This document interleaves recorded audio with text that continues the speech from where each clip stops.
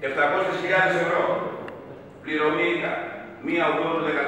Γιατί το παρουσιάζετε. Τα παρουσιάζω να το 2013 παρακρατικών. Πού τα βρήκα, έκανα εγώ τα 210.000 ευρώ. Πληρωμή ΙΚΑ. Τι έχει πίσω, παρακρατικών. 2013, δεν θα πρέπει να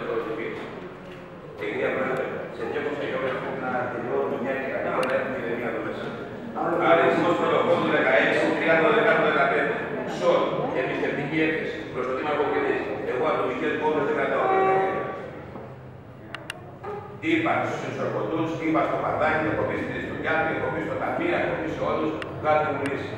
Που καταλήγει 8.014.000 ευρώ, χρήση 11 και 12, δεν έχουν περαστεί στο Δήμο και δεν έχουν πει ότι δεν το καταφέρω. Συν το ΙΚΑ, πώς θα πάμε να λέτε κάτι. Πρόεδρε, θα καταφέρω με αγάπη και στο καλό και καλό τρόπο να έχουμε. Καλό τρόπο να έχουμε. Καλό τρόπο να έχουμε. Να είστε καλά. Και καλό και καλό τρόπο και καλό τρόπο να έχουμε.